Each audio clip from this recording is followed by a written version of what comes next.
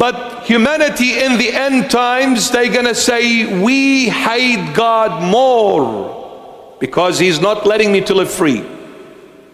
They're hating God. Then the fifth angel poured out his bowl on the throne of the beast, and his kingdom became full of darkness, and they and they bit their tongues. No, their tongues, bit it, bit their tongues because of the pain. They blasphemed the God of heaven because of their pains and their sores, and did not repent of their deeds. The, the fifth angel poured his bowl on what? On the throne of the beast. Who is this beast? We saw the beast in Revelation 13. I just want to read Revelation 13 verse 40 for you, my beloveds. Look at this. Revelation 13 4. So they worshiped the dragon. Who was the dragon in Revelation 13? Satan. They worshiped the dragon who gave authority to the beast. What is the beast? The governmental system.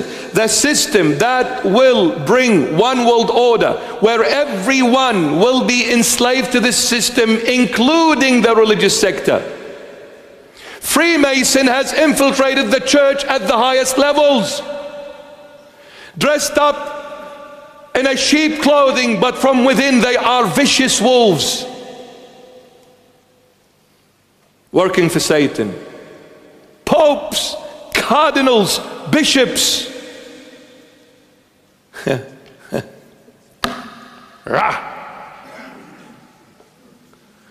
they worship the dragon, Satan. Aren't they worshiping Satan today? 100%.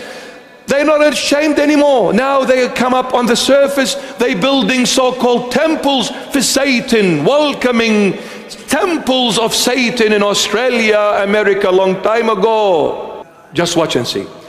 Let them realize who Jesus Christ is. And to everyone who follows in their footprints. I told you I was upset. What has become of Christendom? In the name of love, in the name of freedom, in the name of humanity, we are embracing Satan. I don't embrace Satan, I step on Satan.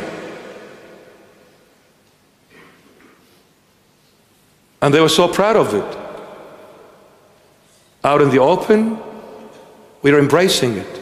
Wow. Wow.